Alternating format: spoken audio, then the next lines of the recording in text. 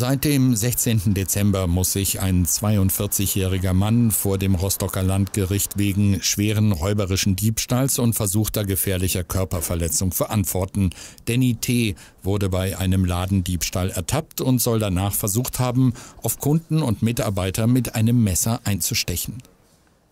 Die Staatsanwaltschaft wirft ihm vor, am 7. Juli im Turmbaumarkt im Rostocker Stadtteil Lüttenklein einen Akkubohrschrauber, einen Maulschlüssel und eine Drahtseilschere in seinen Rucksack gesteckt zu haben. Vorher habe er mit einem Cuttermesser die Artikelsicherung entfernt. Die Artikel hatten insgesamt einen Wert von rund 109 Euro. Beim Verlassen des Baummarktes sei der Ladendieb dann von einem Verkäufer angesprochen worden. Laut Anklage soll Danny T. Pfefferspray in Richtung des Mannes gesprüht haben. Mehrere Kunden wurden auf die Situation aufmerksam und griffen ein. Sie sollen den Ladendieb festgehalten und anschließend draußen auf eine Bordsteinkante gesetzt haben.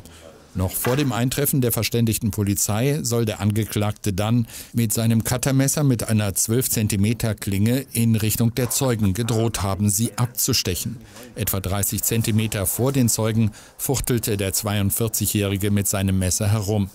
Nur durch das Zurückweichen konnte einer der couragierten Helfer einen Treffer in den Bauch verhindern. Der Angeklagte flüchtete laut Staatsanwaltschaft mit der Ware und wurde wenig später von der Polizei verhaftet.